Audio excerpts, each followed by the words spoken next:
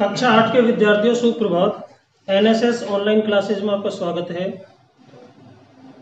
अपना चल रहा था थर्ड चैप्टर संश्लेषित रेशे एवं प्लास्टिक पिछले लेक्चर में आपको बताया था कि संश्लेषित रेशे क्या होते हैं।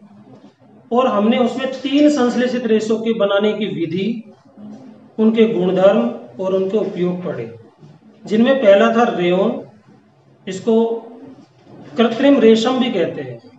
और आपको बताया था कि रेशम के बने जो उत्पाद होते हैं वस्तुएँ होती है वस्त्र होते हैं वो ज़्यादा जा, महँगे होते हैं। हर व्यक्ति उनको अफोर्ड नहीं कर पाता। इसलिए वैज्ञानिकों ने रेशम का विकल्प बनाया रेयन दूसरा हमने पढ़ा था नाइलॉन 66 और उसके उपयोग भी देखे थे। स्लीपिंग बैग पैराशूट पहाड़ों पर चढ़ने की रस्सी जुराबे टूथ ब्रश का जो रेशा है, वो भी इसी का बना होता है।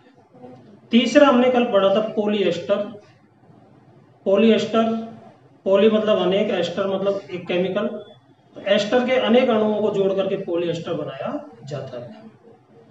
आज हम पढ़ने जा रहे हैं नंबर चार रेशा एक्रेलिक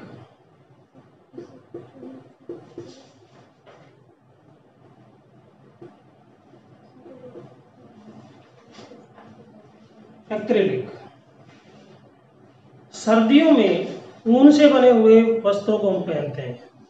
जैसे शाल ओढ़ते हैं स्वेटर पहनते हैं। ऊन दो तरह की होती है। एक प्राकृतिक ऊन होती है, जो पशुओं से प्राप्त होती है, और एक होती है संश्लेषित ऊन। यानी कि ऊन का विकल्प है कौन? एक्रेलिक। इसको आप कृत्रिम ऊन भी कह सकते हैं। क्या कह सकते हैं? कृत्रिम ऊन।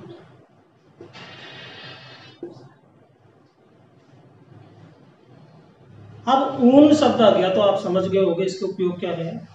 स्वेटर शॉल आदि बनाने। यानी कि सर्दियों में जो गर्म कपड़े होते हैं, उनको बनाने में इसका उपयोग किया जाता है किसका? एक्रेलिक बस इतना इसके अंदर याद रखना है। अब जो संश्लेषित रेशे हैं इनके कुछ गुणधर्म हैं तो कुछ कमियाँ भी है, कुछ सीमाएँ भी हर चीज़ के दो पहलू होते हैं, कुछ उससे लाभ होता है तो कुछ हानियाँ भी होती है। सबसे पहले बात करते हैं हम लाभ की। संश्लेषित रेशों में क्या क्या गुणधर्म होते हैं? पहला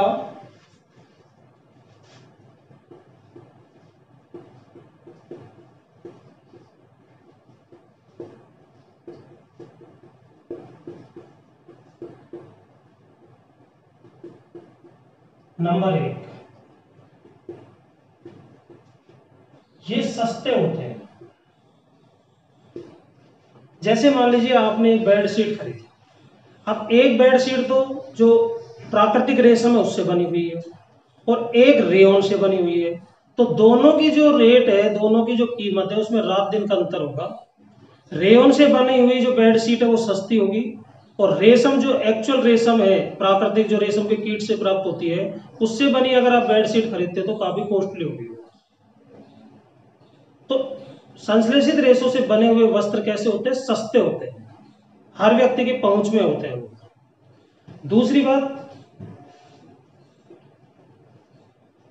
हल्के होते हैं। हल्के का मतलब वज़न में हल्के लाइट लाइट वेट तो हल्के होने के कारण इनमें वज़न बहुत कम होता है। ठीक है? तीसरी, धुलने में आसान। धुलने में आसान। संश्लेषित रेशों से बने वस्त्रों को जब आप धोते हो तो आसानी से धुल जाते हैं वो। उनमें सलवट भी नहीं पड़ती। सूख भी जल्दी जाते हैं। जैसे धूप में रखेंगे तो तुरंत वो पानी को नीचे, पानी गिर जाएगा वो सूख जाएगी। जल्दी सूख जाते हैं।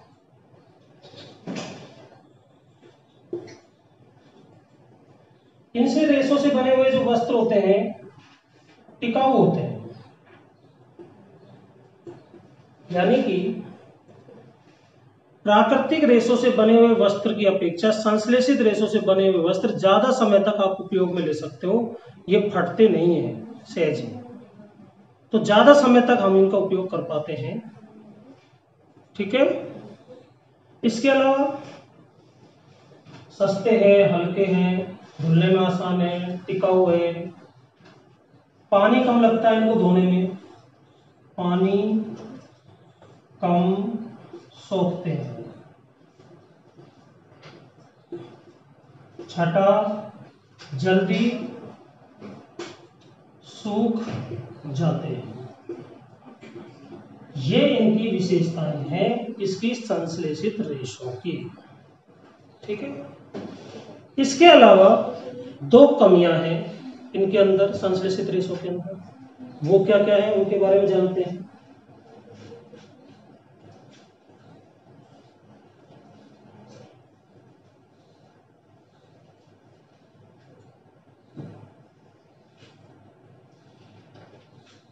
कमियाँ।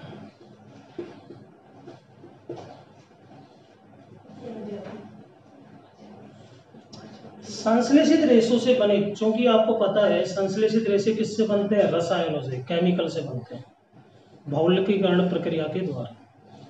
अब इनमें कुछ कमियाँ होती है। कमी क्या है? अगर इन वस्त्रों को पहनकर हम रसोई में या प्रयोगशाला में काम करें, और आग पकड़ ले किसी कारणवश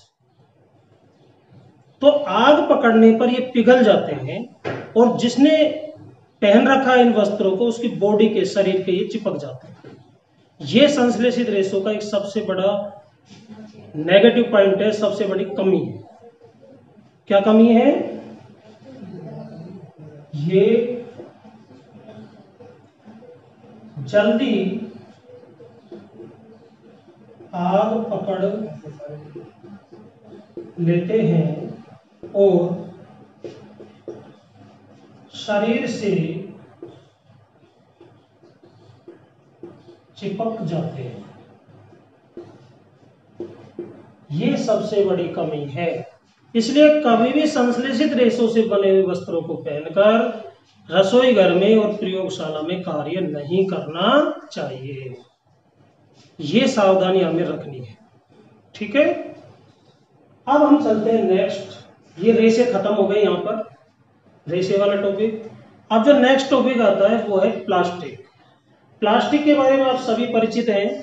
प्लास्टिक का उपयोग दैनिक जीवन के लगभग हर क्षेत्र में हम करते हैं। आज हम रसोई घर में भी जाते हैं। तो मसाले वगैरह यूज़ करने, रखने के लिए हम डिब्बे का इस्तेमाल करते हैं। कोल्ड ड्रिंक्स वगैरह ये सब बोतलों में आती है। बाज़ार से आचार मुरब्बा वगैरह लेने जाते हैं, वो भी डिब्बों में आती है। खाद्य बंद सामग्रियाँ भी डिब्बों में आती है प्लास्टिक के में। घरों में भी जो फर्नीचर है, पहले लकड़ी के लोहे के आदि इस्तेमाल होते थे, परंतु आज उन सबके स्थान पर क्या आ गया है? प्लास्टिक आ गया है। यानी कि हमारे दैनिक जीवन का हर क्रियाकलाप आज प्लास्टिक से प्रभावित है। प्लास्टिक का हम बहुत मात्रा में उपयोग करते हैं। आज हम ये जानेंगे कि प्लास्टिक है क्या, कितने प्रकार का होता है। इसके लाभ है तो कुछ हानियाँ भी है। इन सब के बारे में हम जानने का प्रयास करते हैं। तो सबसे पहले ये जानेंगे प्लास्टिक है क्या।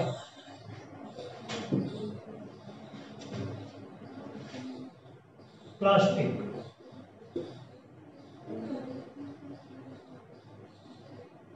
प्लास्टिक एक बहुलक है।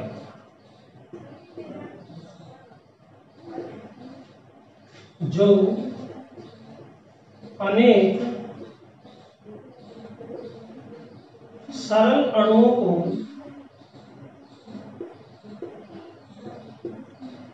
संयोजित कर बनाया जाता है। प्लास्टिक क्या है? एक बहुलक है, जो अनेक सरल अणुओं को संयोजित करके बनाया जाता है। प्लास्टिक दो प्रकार का होता है। मुख्य रूप से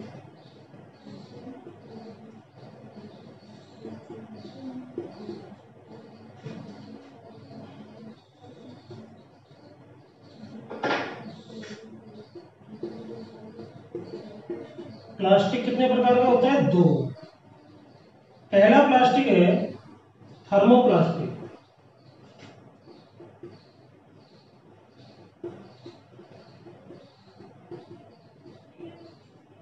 और दूसरा है थर्मोसेटिंग प्लास्टिक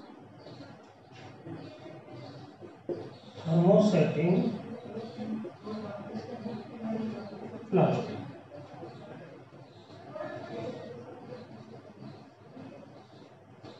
देखिए पहले बात करते हैं थर्मोप्लास्टिक थर्मोप्लास्टिक में जो बंद होते हैं, वो किस तरीके से होते हैं? इस तरह से। रेखीय रूप में होते हैं, रेखित लीनियर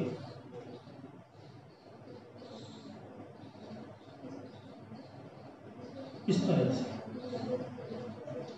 इसमें किस तरह से होते हैं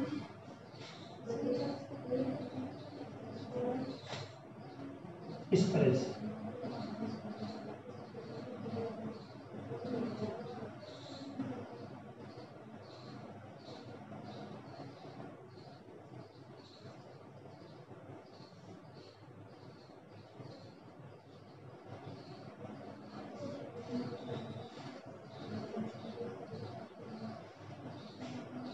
तरह से इसमें रचनाएँ पाई जाती है। यानी कि इसमें बंद चारों तरफ़ होते हैं। ठीक है? और इसमें बंद रेखीय रूप में होते हैं। इस आधार पर प्लास्टिक को दो भागों में बांटा गया है, थर्मोप्लास्टिक और थर्मोसेटिंग प्लास्टिक।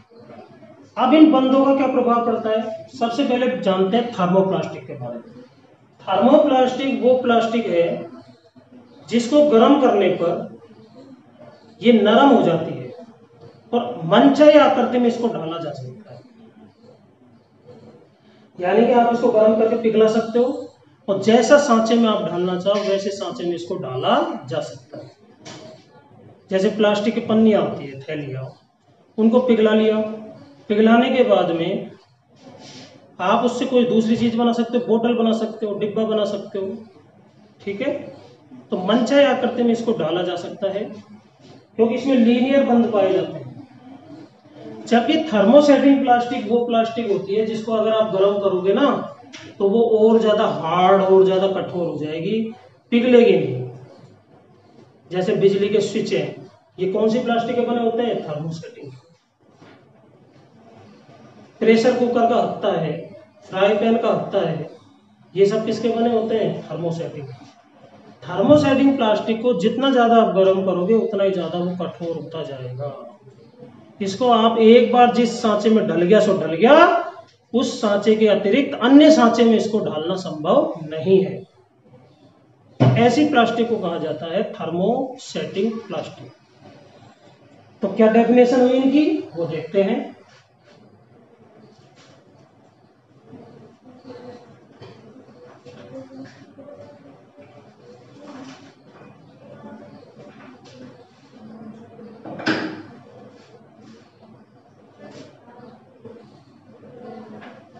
पहला थर्मोप्लास्टिक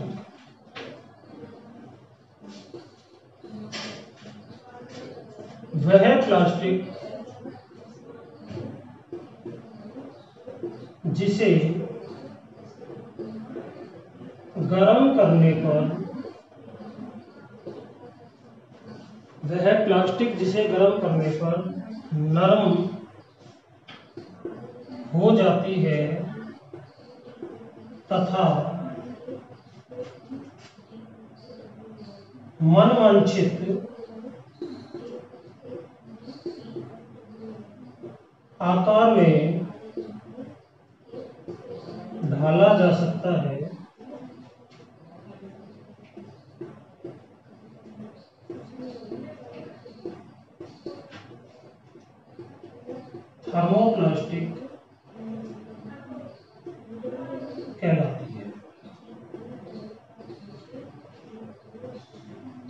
परिभाषा बच्चों पढ़े, वह प्लास्टिक जिसे गर्म करने पर नरम हो जाती है, यानी कि पिघल जाती है। और मनवांछित आकार में उसको डाला जा सकता है, ऐसी प्लास्टिक को कहा जाता है थर्मोप्लास्टिक इसमें कौन कौन से आते हैं? थर्मोप्लास्टिक में पॉलीथीन और पीवीसी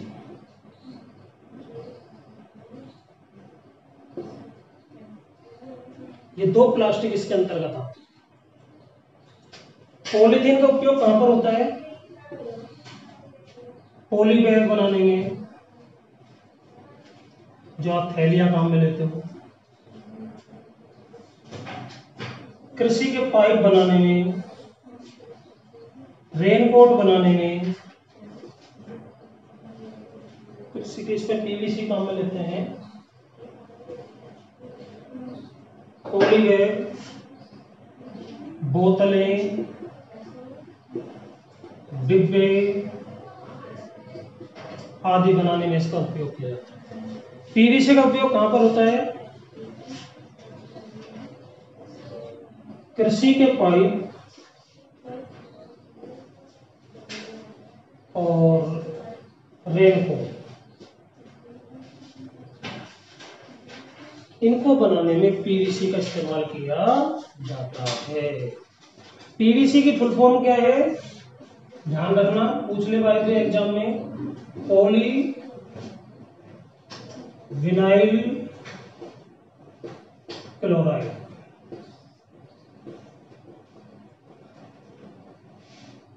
ये इसकी फुल फॉर्म है पीवीसी पॉली विनाइल क्लोराइड तो ये आपका नंबर एक प्लास्टिक हो गया कौन सा? थर्मोप्लास्टिक एक बार दोबारा रीड करें इसे। थर्मोप्लास्टिक क्या है? वह प्लास्टिक है जिसे गर्म करने पर नरम हो जाती है और मनमांसित आकार में, मन जाए सांचे में इसको डाला जा सकता है। ऐसे प्लास्टिक को कहा जाता है कौन सा? थर्मोप्लास्टिक इसमें दो प्लास्टिक आते हैं पॉलीथीन और पीवीसी पॉलीथीन का उपयोग हमने बताई दिए और पीवीसी ये रहा अब दूसरा प्लास्टिक आता है। Thermosetting plastic.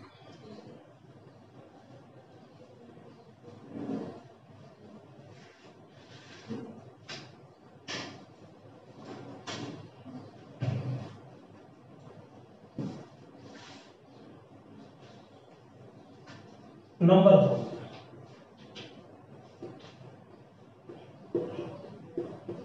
थर्मोसेटिंग प्लास्टिक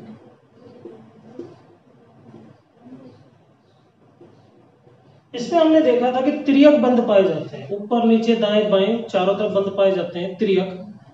तो जब इसको गर्म करेंगे तो ये जो त्रियक बंद है, ये और ज़्यादा जटिल हो जाते हैं। यानी कि कठोर हो जाएगा प्लास्टिक। तो इसको मनचाही आकृति में आप नहीं डाल सकते। तो वह प्लास्टिक।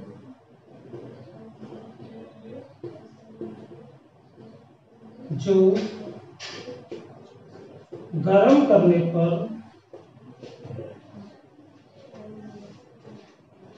और अधिक कठोर हो जाता है। वह प्लास्टिक जो गर्म करने पर और अधिक कठोर हो जाता है तथा जिसे अन्य आकार में नहीं डाला जा सकता नहीं डाला जा सकता है, उसको कहा जाता है थर्मोसेटिंग प्लास्टिक। ये इसकी परिभाषा है। यानी कि ये प्लास्टिक ऐसा प्लास्टिक है जो एक बार जिस सांचे में ढल गया, सो ढल गया। आपके घरों में बिजली के स्विच बोर्ड वगैरह जो उपयोग में लिए जाते हैं, वो इसी प्लास्टिक के होते हैं जिसके थर्मोसेटिंग के कभी आप उनको आग में डाल के देखना, पिघलेंगे नहीं। बल्कि और कठोर हो जाएँगे, किसी का सिर और फोड़ देंगे, ऐसे कठोर हो जाएँगे। तो ऐसे प्लास्टिक को कहा जाता है थर्मोसेटिंग प्लास्टिक। इसमें दो आते हैं जैसे उसमें थे पीवीसी और पॉलीथीन, इसी तरह से थर्मोसेटिंग प्लास्टिक भी दो प्रकार का होता है। कौन कौन सा? बैकेलाइट और मेलामाइड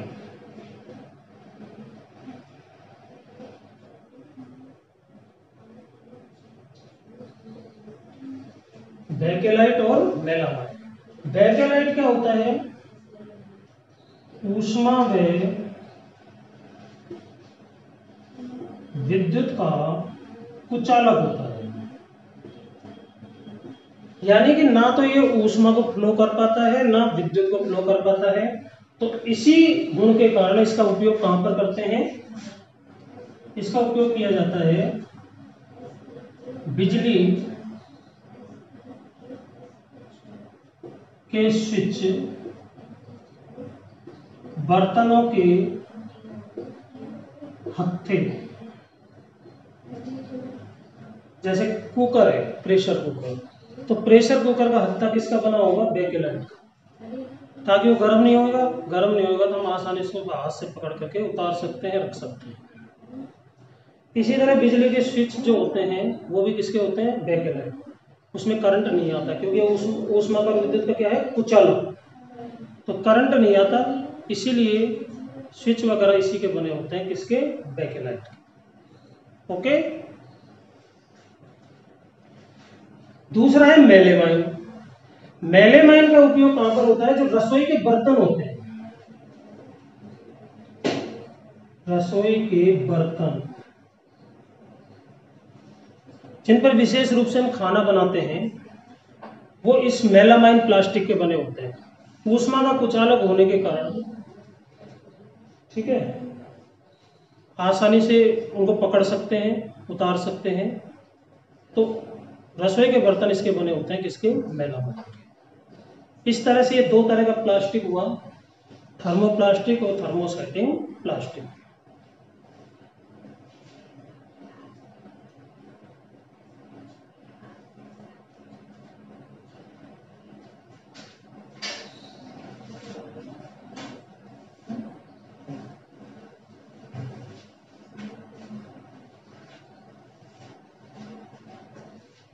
आप बच्चों देखिए कि प्लास्टिक जो है, इसका इतना उपयोग क्यों हो रहा है? इसमें गुण क्या है? प्लास्टिक में कुछ गुण है तो कुछ कमियाँ भी है। पहले हम गुणों की बात करें। गुणधर्म कि आज हर क्षेत्र में प्लास्टिक प्रवेश कर चुका, हर क्षेत्र में इसका उपयोग हो रहा है, ऐसा क्यों है? इसके कुछ रीजंस हैं। पहला, प्लास्टिक वज़न में हल्का है। यानी कि भार में हल्का प्लास्टिक वज़न में हल्का होने के कारण इसको एक जगह से दूसरे स्थान पर ले जाना, ट्रांसपोर्टेशन जो रहता है, वो इजी हो जाता है, आसान हो जाता है। जैसे एक तो लोहे की बनी कुर्सी है और एक प्लास्टिक की बनी कुर्सी है। लोहे की कुर्सी को तो हम एक स्थान, दूसरे स्थान पर ले जाएँगे, भारी लगेगी। और प्लास्टिक की कुर्सियों को एक छोटा सा बच्चा उठा करके दूसरे स्थान पर रख देगा। तो वज़न में वेट में हल्के होने के कारण प्लास्टिक का उपयोग ज़्यादा हो रहा है दूसरा, सस्ता। लकड़ी और लोहे की अपेक्षा प्लास्टिक से बनी वस्तुएँ सस्ती होती है, इसलिए इसका इस्तेमाल ज़्यादा होता है। तीसरा अनभिक्रियाशील अन अभिक्रियाशील प्लास्टिक की बनी वस्तुएँ होती है, खाद्य पदार्थों से क्रिया नहीं करती। इसीलिए खाद्य पदार्थों के संग्रहण में इसका इस्तेमाल किया जाता है। आज अचार है, मुरब्बे हैं, अन्य खाद्य सामग्रियाँ हैं, कोल्ड ड्रिंक्स हैं। प्लास्टिक के पात्रों में क्यों रखी जाती है? क्योंकि वो उससे रिएक्ट नहीं करती, अभिक्रिया नहीं करती, इसलिए सुरक्षित रहती है। साथ में वायुमंडल में खुला छोड़ देते हैं तो इस पर ना जंग लगने का खतरा रहता है, ना खराब होने का खतरा रहता है। तो प्लास्टिक से बनी वस्तुएँ अनअभिक्रियाशील है, इसलिए प्लास्टिक का उपयोग किया जाता है। तो आज के लेक्चर में इतना ही। बाकी अपन अगले लेक्चर में पढ़ेंगे। थैंक यू वेरी मच पढ़े, आगे बढ़े।